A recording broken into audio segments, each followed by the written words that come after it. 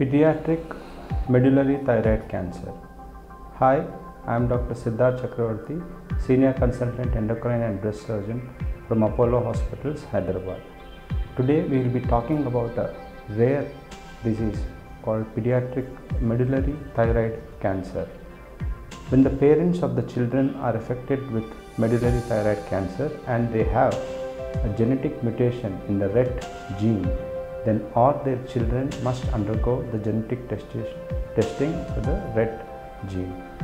And this RET gene, if, if it is positive in their children, then what are we supposed to do? These RET genes are divided into three risks called highest risk, high risk and moderate risk.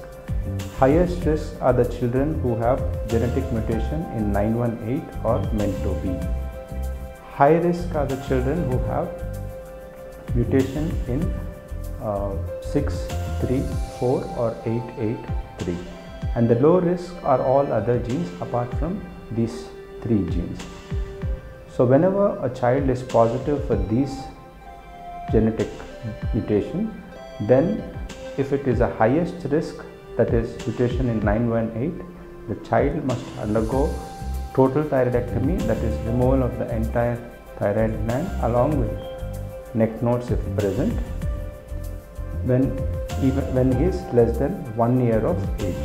If it is a mm, high risk patient, they should undergo surgery again that is total thyroidectomy plus or minus neck nodes that also less than 5 years of age and if it is a moderate risk patient that is a child has having moderate risk mutation then we can keep them on regular follow up we follow up these patients regularly with certain blood tests called calcitonin and ultrasound of the neck and a clinical examination by your doctor.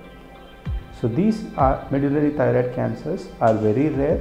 So today we have discussed only the management of the children whose parents are having this genetic RET mutation positive medullary thyroid cancer.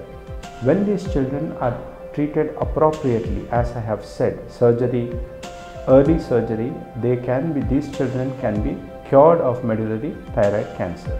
Thank you.